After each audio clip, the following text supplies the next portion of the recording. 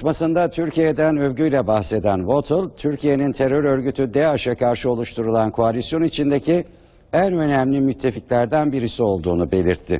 Votel, Türkiye'den günlük olarak aldığımız destek olmasa Suriye'de yakın geçmişte yaptığımız birçok aktiviteyi yapamazdık.